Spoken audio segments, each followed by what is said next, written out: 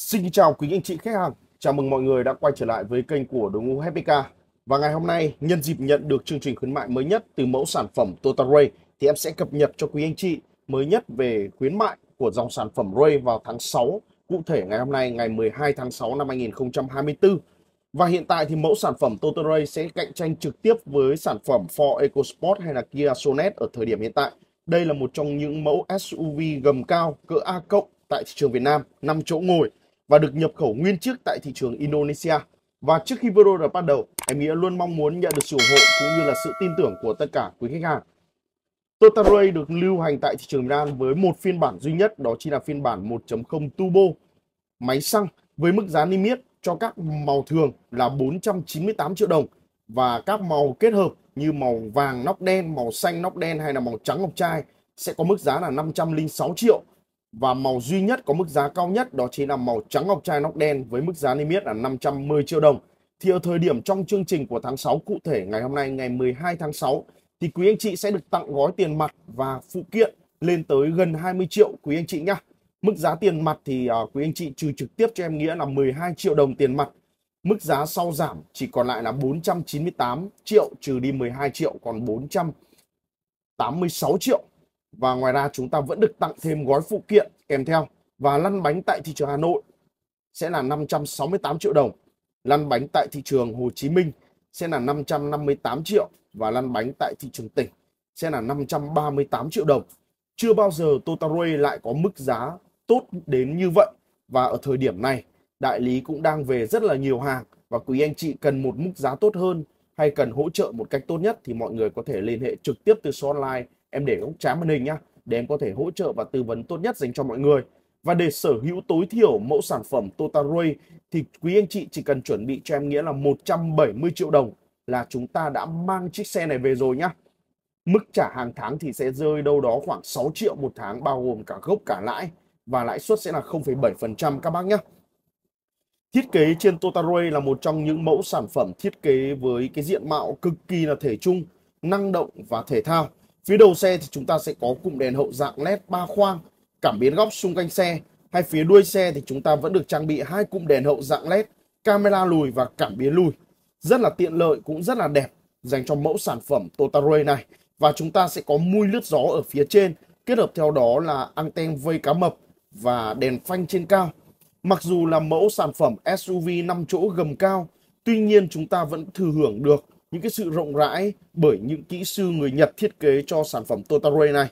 Bởi không gian thiết kế phía sau lên tới 300 lít, rất là phù hợp cho những quý anh chị đi những cái cung đường nhỏ hẹp và đi trong phố để đựng đồ. Và dưới tấm sẽ là lốp dự phòng và một bộ mâm phay xước đa chấu kết hợp với dàn lốp đan lốp.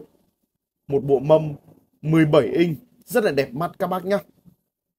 Sở hữu khối động cơ 1.0 turbo cho mức công suất lên tới 98 mã lực và 140 Nm thì giúp cho chiếc xe này tăng tốc rất là mượt mà.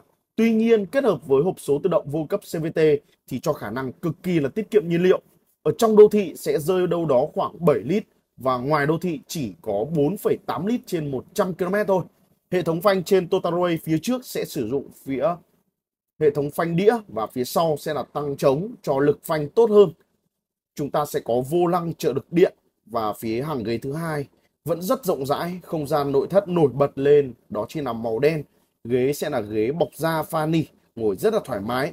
Quý anh chị vẫn được trang bị ở một cái bệ tì tay bọc da rất là đẹp mắt các bác nhá. Ghế nỉ ngồi rất là thoải mái và êm. Đối với chiếc xe Total Ray thì sẽ có khoảng sáng gầm xe lên tới 20cm và chiều dài cơ sở lên tới 2525mm giúp cho cái không gian ngồi phía trong khoang nội thất rất là rộng rãi. Về khoang lái thì chúng ta sẽ thấy ngay được đó chính là màn hình chính giữa trung tâm lên tới 9 inch, có kết nối Android Auto và Apple CarPlay không dây, đề nổ start top điều hòa tự động và kèm theo đó là một hộp số tự động vô cấp CVT cho khả năng tăng tốc rất là mượt mà. Trên vô lăng thì chúng ta sẽ có vô lăng bọc da 4 chấu trợ lực điện tích hợp các phím bấm và đằng sau vô lăng sẽ làm màn hình đa thông tin lên tới 7 inch hiển thị sắc nét các thông số về điện tử. Ngoài ra chúng ta sẽ có hệ thống an toàn 6 túi khí kèm theo đó chính là gương chỉnh điện, cục điện và gập điện và sẽ có tích hợp cảnh báo vượt và cảnh báo phương tiện cắt ngang khi lùi. Chúng ta vẫn có được trang bị hệ thống chống bó cứng phanh ABS, phân phối lực phanh điện tử EBD, cân bằng điện tử VSC, kiểm soát lực kéo TLC và hỗ trợ khởi hành ngang dốc HAC và rất nhiều những cái tính năng tiện nghi khác. Và đó là tất cả những thông tin mà em Nghĩa muốn gửi đến cho khách hàng trong video này. Quý anh chị cần muốn mức giá tốt hơn hay cần hỗ trợ một cách tốt nhất thì mọi người có thể liên hệ trực tiếp từ số online của em nha cảm ơn mọi người một lần nữa. Xin kính chào và hẹn gặp lại mọi người ở những clip tiếp theo.